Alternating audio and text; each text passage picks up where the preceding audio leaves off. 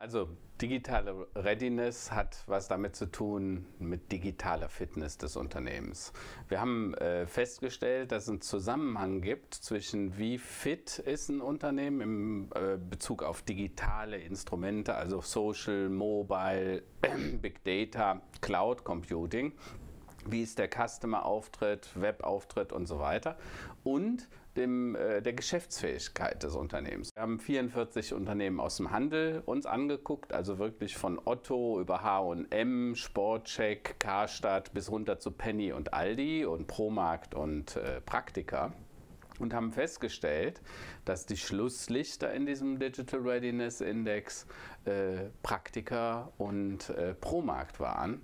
Der eine ist bereits in die Insolvenz gegangen und der andere, naja, ist in der Auflösung bzw. Abwicklung befindlich. Also Zunächst mal müssen die Unternehmen eine digitale Strategie entwickeln. Sie müssen einfach wissen, wie werde ich in Zukunft mit diesen Geräten umgehen. Das war mal der sogenannte Third Screen, also der dritte Schirm nach dem Fernseher, nach dem Computerbildschirm, dann dieser Schirm. Dieser Schirm ist aber inzwischen zum First Screen geworden. Den habe ich immer am Mann, trage ich immer bei mir und er beeinflusst das Verhalten des Konsumenten dramatisch. Der Kunde erwartet von Aldi oder Penny keinen super guten Service. Auf der anderen Seite gibt es Unternehmen, wo eine hohe Beratung erwartet wird oder notwendig ist und da ist das halt sehr wichtig. Also Saturn ist ein sehr gutes Beispiel dafür. Die haben sehr spät gemerkt, haben eigentlich das Internet ein bisschen verschlafen, waren 10, 12 Jahre nicht vorhanden, nicht existent.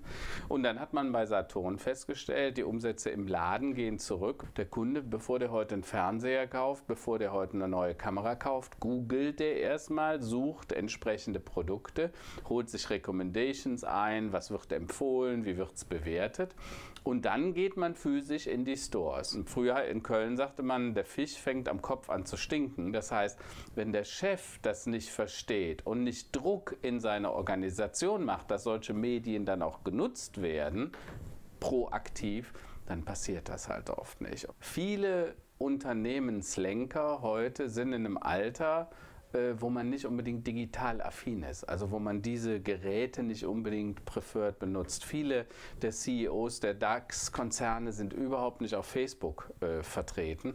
Ähm, wenn ich denen versuche, Facebook zu erklären, ist das, als würde man dem Blinden die Farben versuchen zu erklären. Neuland steht ja für digitales Neuland. Wir wollen den Unternehmen, den Unternehmern helfen, äh, mit unserer Beratung, wie kann ich die Potenziale da erschließen. A, bei der Strategie und Vision, also sprich, wie kann ich eine digitale Strategie und Vision entwickeln. B, wie kann ich dann eine digitale Transformation einleiten, um von diesen neuen Chancen, den Opportunities auch dann zu partizipieren und auch die digitalen Kanäle für mich als Absatzkanal, weil zum Schluss geht es ja auch immer, wie können wir verkaufen. Als erstes machen wir eine Impact-Analyse. Was bedeutet es für dich, was bedeutet es für dein Unternehmen?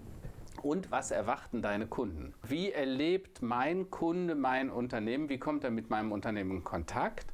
und wie können wir dann diese Service Experience verbessern. Ob das dann über das Telefon ist, über die Hotline, ob das über den Webauftritt, über die E-Commerce oder ob das im Shop selber ist oder ob ich eine Mobile App zur Verfügung stelle, um ihm bei der Beratung zu helfen, spielt gar keine Rolle.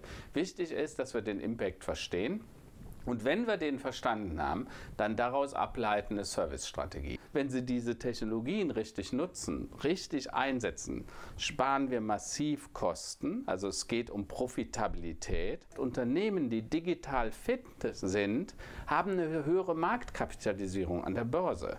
Das heißt, das ist immer ein Thema, was auch direkt wichtig und relevant sein sollte für den CEO, für den Vorstandsvorsitzenden oder den Geschäftsführer des Unternehmens.